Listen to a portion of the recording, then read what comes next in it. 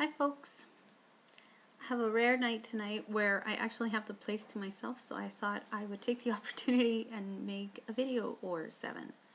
And yeah, I decided to start with this one. So let's begin. I'm going to start with the stuff that I've used up so that we can get the yays out of the way. And this first one is the bane of my existence, but it's now dead. May it rest in peace. My color tattoo, barely branded, is now completely gone. And those of you that have seen my pictures on Instagram will know that this one has been dead for a while now. so, yay. Uh, next one that I wasn't super thrilled about is the Maybelline Age Rewind, what is this? Eraser Dark Circles Treatment Concealer. Yeah, the brightener thing. It's completely finished. So I'm happy about that. It's an okay product, but I won't be getting it again. It just didn't do anything amazing for me. So My next one's kind of bittersweet because I really enjoy using it. Um, and I'm glad it's done, but now I'm sad that it's gone. But that's okay. That's the whole point of this. It's my Sonia Kashuk um, Hidden Agenda concealer palette in medium. So it is all done. It was my first eyeshadow that I ever finished all the way like down to the very last bit. So was kind of fun to, to be able to say that I've at least done that. so yeah, that's done from my new round of Project 10, I've used up one item, and that is my Coco Chanel, uh, the Mademoiselle cream. This is all finished. So again, another bittersweet. I'm gonna miss. Ah, I'm gonna miss that scent, but I'm glad that I used it up before it kind of went south. Okay, um, from my first project 10, I only have one thing left that I rolled over, and that's, of course, the other bane of my existence, my MAC blush in Love Crush. This one, and I, I don't know if you can see, but there is a little dip right in the middle there, which is show you where I've been concentrating my, my brush. uh, I've been using this religiously not only as a blush but as an eyeshadow either in the outer corner or as an all over shade or as a crease shade whatever I could think of I was using it so now there's finally some progress in there you can see so I'm happy about that when I hit pan on this thing I don't know if I might just jump for joy and chuck this in the garbage because uh, so frustrated with it, but uh, yeah, we'll see. Probably won't, but you know, whatever. Anyway, so for my new round, uh, let's start with my foundation. So that's the Sephora. And this is where I started, right there. And now I am, from what I can tell, I'm about here. Yeah, so at the base of the S here.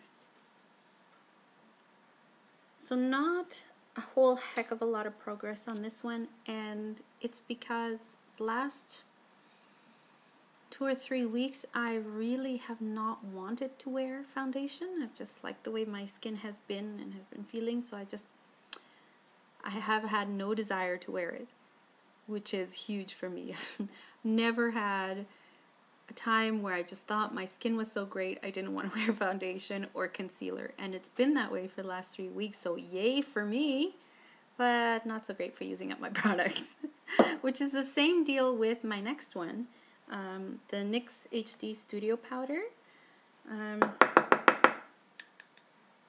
I can get this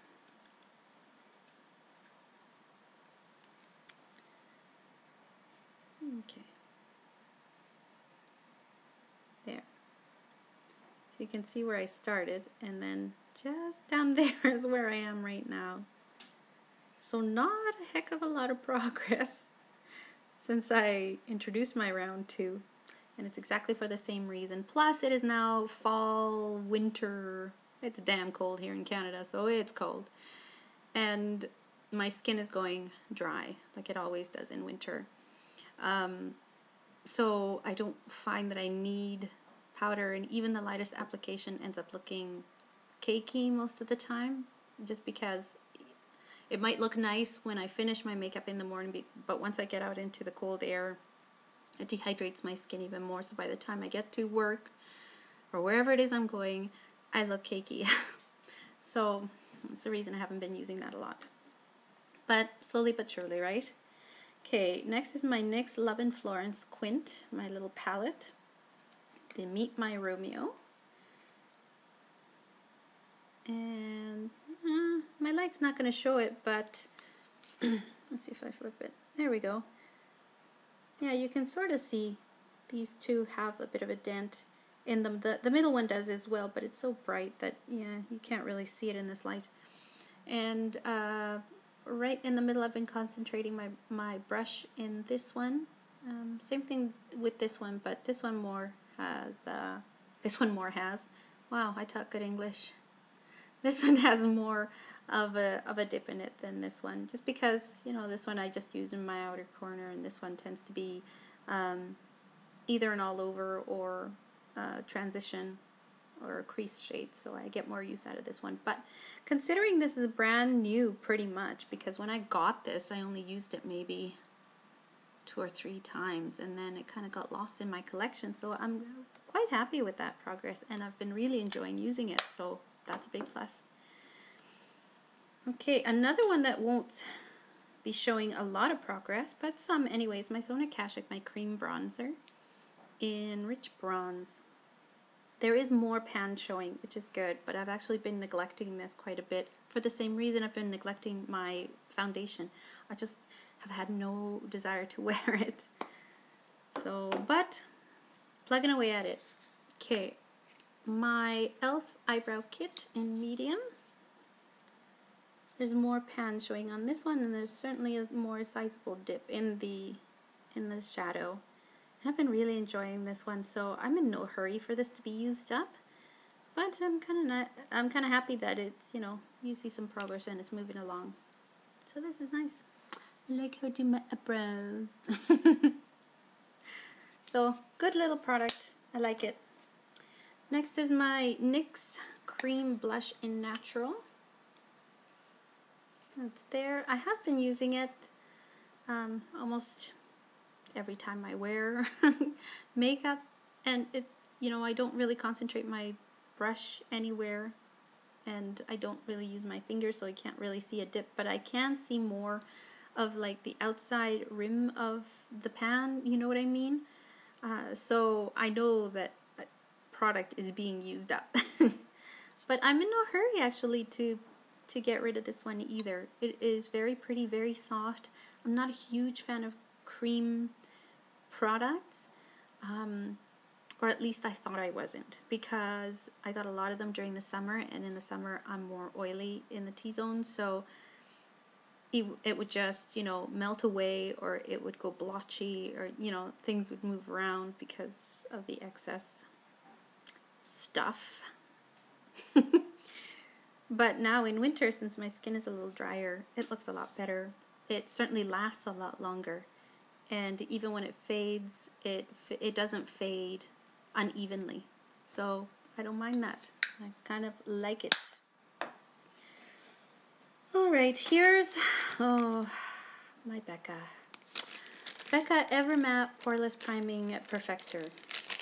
And they love these long names. This is just my little sample that I had um, that you saw me include. And there's I've used maybe about a third of this and I'm gonna have to call it quits with this one and this will be my first fail. And I'm, I'm kind of happy it's with a sample product than an actual you know full size thing because like I said my skin is getting drier so this is way too much for me it is far too drying when I apply it and everything looks super cakey on top of this doesn't matter how lightly I apply it or even if I only put it in certain places doesn't matter Um, I tried just to, um, I tried it just to, you know, some enlarged pores just to even those out.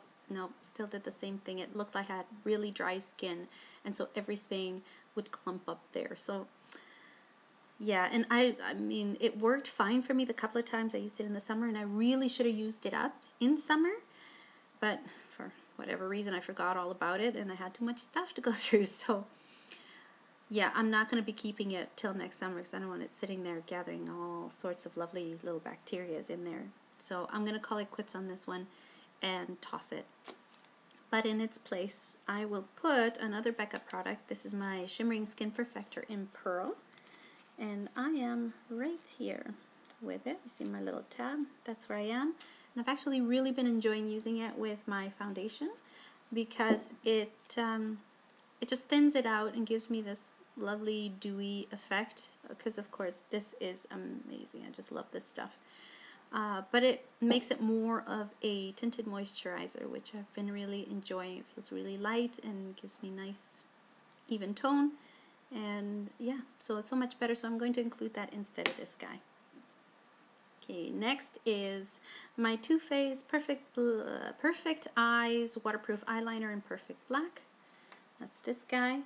So as you can see, I started this full size and I'm just going, but this, here's the plastic little bottom thing where it starts, so that's how I'm measuring.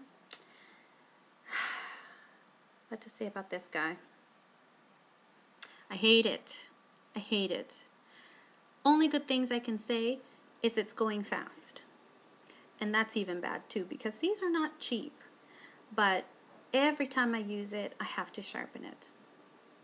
So that's not great as far as value is concerned. But beyond that, I that's actually a plus for me because I just don't like this thing. It runs and it bleeds like nobody's business. My eyes literally have competitions every day to see which one's going to reach my chin first. I just no. No. So I will not be sad when this guy is over. And considering the size, now that it is, after all this time using it, um, maybe a couple more weeks and this guy will be done. So quite happy about that. There's my little angry rant for you. Back to happiness. My hard candy uh, concealer little tiny pencil in medium. It's so cute. Look how tiny. there. uh, I really like this. I wish they made it in like a full size. I would totally buy it. Um, and I still keep forgetting it, but it's tiny. And again, not too much progress on this one because I haven't wanted to put concealer in too many places. So for the times that I've used it, it's worked well. And again, I, you know, it'll be nice to have it out of the collection, but yeah, it'd be kind of sad for it to go, but that's fine. I'm okay with that. So that is my update. Yes, don't think I've missed anything. So, hope you enjoyed that, and I'll talk to you next time. Bye.